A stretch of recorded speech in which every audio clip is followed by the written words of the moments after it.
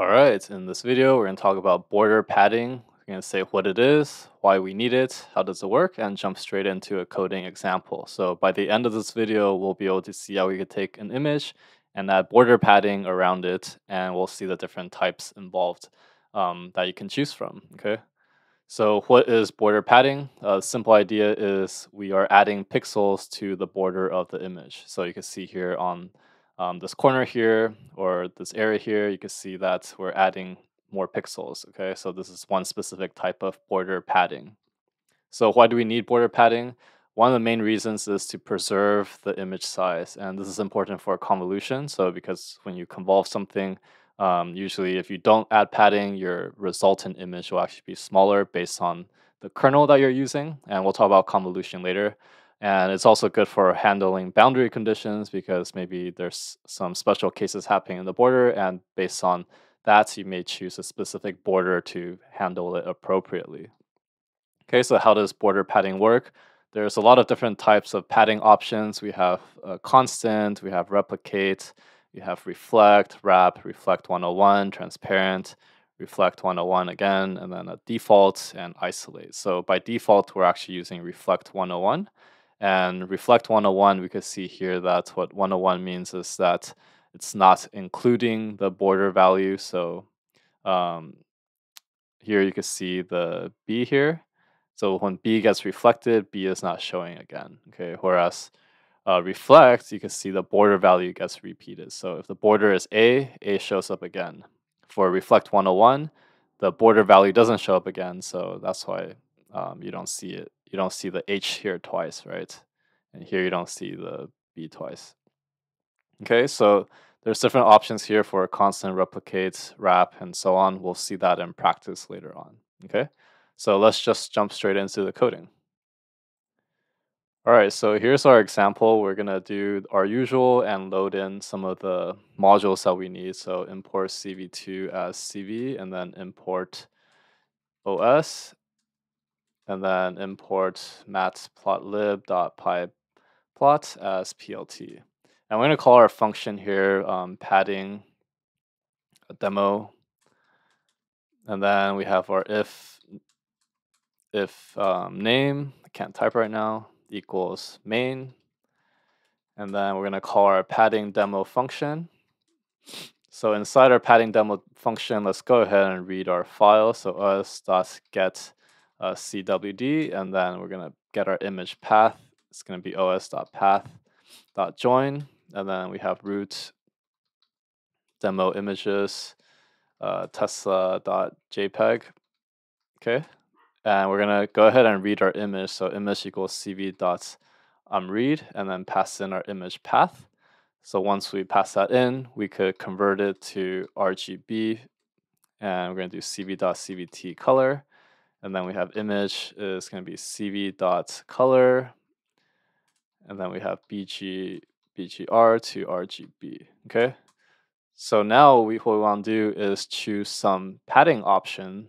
Okay, so here I'm going to exaggerate the padding and use 200 just so it's more obvious. In practice, you may use a smaller padding. Um, but there's different border types here. Okay, so you could see what the border types are if you just start typing out cv.border.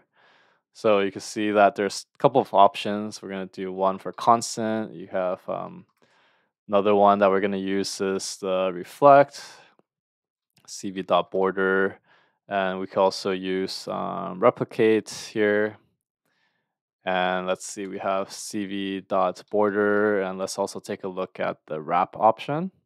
So these are some of the options we'll be looking at. And then let's go ahead and create some titles for our plots just so we don't get lost when we're plotting. So we have a constant, we have a reflect, we have a replicate, and then we have a wrap. Okay, so these are the five plots we're doing. So now let's go ahead and plot the things that um, we have here. So we have for i in range, in range, and then it's the length of our borders. Okay, so inside we're gonna go ahead and do a plt.plot. But before that, let's create our figure. So plt.figure and then plt.subplot. Let's go ahead and plot our original graph. So we have a 2, 3, 1, And then we have a um show. So our original image is image RGB. And we're going to go ahead and just title this, um, oops, and title this called original, original, okay?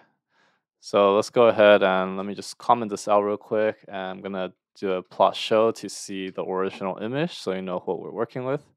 So our original image is just going to be nothing with padding, right? So this is our original image. So now if we go ahead and add in our images with um, padding, let's go ahead and make a subplot inside our for loop where we're going to increment um, by 2 since the 0 index and we're skipping the first image. And then we're going to do a plt.show. And we're going to pass in our um, our function that we're going to use to add the padding, which is actually called copy make border. And what it takes is as an input argument is the image that we're um, passing in. And then you have a top, bottom, left, right padding. So here I'm using the same padding size for all four. So I'm just going to call them pad. And then the border type that we're using is going to be the types that we have listed in our list. Okay, so uh, let's go ahead and just add in the title here. Gonna have our border titles, just so we know what we're looking at, and then do a, um, that should be it, okay? So if I go ahead and run this, we should see our different options. Okay, we could um, see exactly what each border is doing. So here it's gonna load up and then we see that you know, constant. We have a constant value of black. So this is a black border here. Uh, for the reflect, you can see that it's just a mirror reflection of our border. So if you were to draw a straight line here, it reflects it. Replicate, what this does is it will just extend the pixel at the border all the way to whatever padding size you set. And then wrap, what it does is it takes, um, you know, the bottom, wrap it around to the top and vice versa. So you can see the top here is showing on the bottom and the bottom here is showing on the top. So it's as if you were to stack up a bunch of images um, like side by side or up and down. And that's what you would see if you were to wrap it. Okay, so those are the different wrap um, border options you have. Choose the one that best suits your needs and um, sometimes it's going to be trial and error, but at least you know the different types of border options there are. So if you found this video helpful, give a like and subscribe, and I'll see you in the next one.